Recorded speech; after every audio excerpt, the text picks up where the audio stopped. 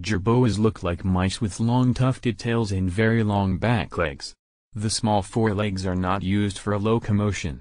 In general, Asiatic jerboas have five toes on their back feet and African jerboas have three. The shapes of their ears vary widely between species. Jerboas have the ability to hop huge distances relative to its size, an ability that evolved as an adaptation to help them escape from predators and to aid with long journeys and foraging in its desert environment.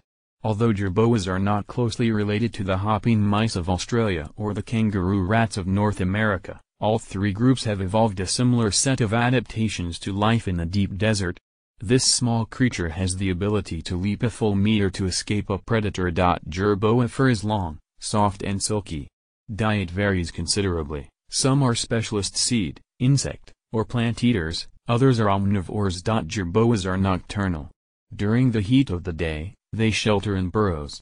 They create four separate types of burrow, two temporary, and two permanent. The temporary burrows are plain tubes used to escape predators during the night, tending to be just 10 to 20 centimeters which is 3.9 to 7.9 inches deep, unsealed and not camouflaged. Permanent daytime burrows are well hidden and sealed with a plug of sand to keep heat out and moisture in, and are generally 20 to 50 centimeters which is 7.9 to 20 inches long. The most well-known species is the lesser Egyptian jerboa, Jaculus jaculus, which lives in some of the most hostile deserts in the world. It does not drink at all, relying on its food to provide enough moisture for survival.